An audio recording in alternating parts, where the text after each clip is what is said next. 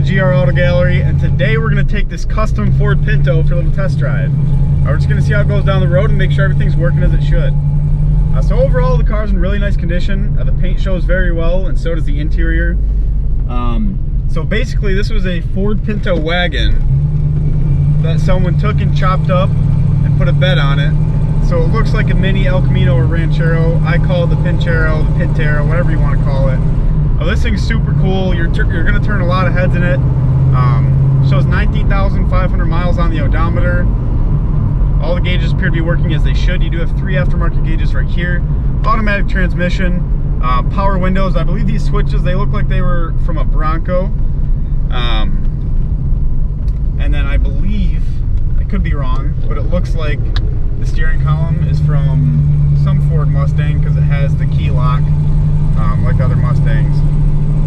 But I could be wrong. Uh, but it drives very nice. It shifts smooth.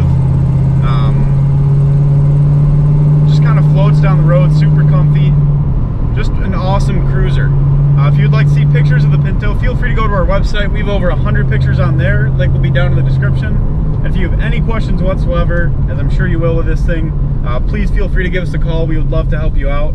And also feel free to read the description under those photos on our website. It'll tell you a lot more about the Pinto and possibly answer some questions that you already have. If you enjoyed today's video, make sure to drop a like, comment, and subscribe. And as always, enjoy the rest of the video.